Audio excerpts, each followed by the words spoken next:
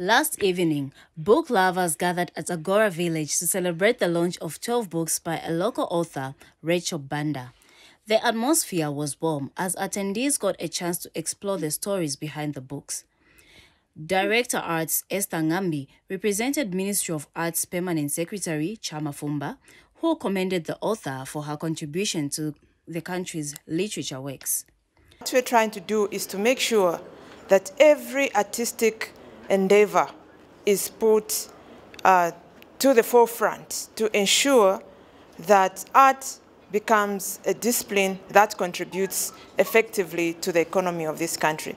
Tourism Minister Rodney Sikumba was the guest of honor and says the books are a reflection of Zambia's cultural heritage. We're always talking about why do we write books when people are no more?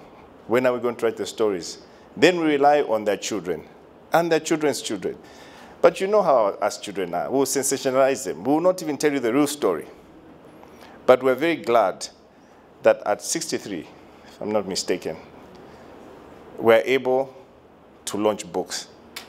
The author says the books explore fictional tales inspired by real life events, offering a fresh perspective to various aspects of society. Somebody who tried to help the community to live a Because in most of these books, there are problems, you know, and those problems, they, um, I've put my own opinion, and some people find those, the opinion, you know, they help them. The book launch also included a question and answer session with the audience. Many who attended the launch says the storylines are engaging and that the books will stand out as masterpieces in local literature.